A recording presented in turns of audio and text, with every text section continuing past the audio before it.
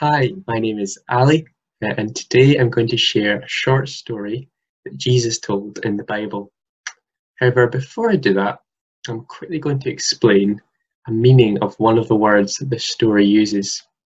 And the reason I'm going to do that is I think it will really help us to understand what the story means.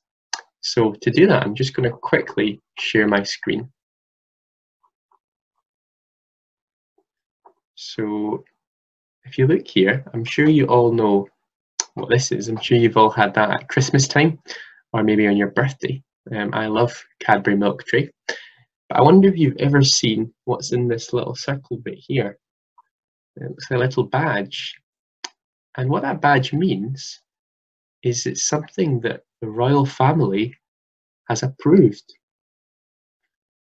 So in other words, it's milk tray, and milk tray is chocolate that's fit for a king or queen. So why am I saying all this? Well, in the story today, um, we'll see the word justified, and what that means is that one of the characters in the story gets God's stamp of approval, a bit like that badge we saw in the chocolate. He gets God's stamp of approval. So I'm quickly going to read that story. To some who were confident of their own righteousness and looked down on everybody else, Jesus told this parable. Two men went up to the temple to pray, one a Pharisee and the other a tax collector.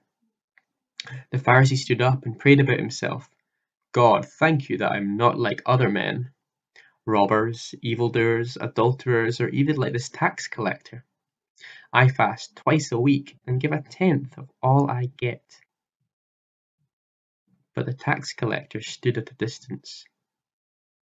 He would not even look up to heaven, but beat his breast, saying, God, have mercy on me, a sinner.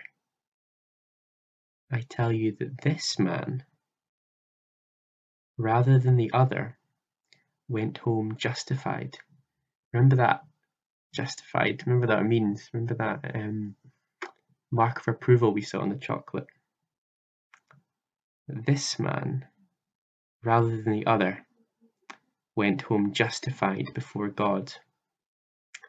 For everyone who exalts himself will be humbled, and he who humbles himself will be exalted.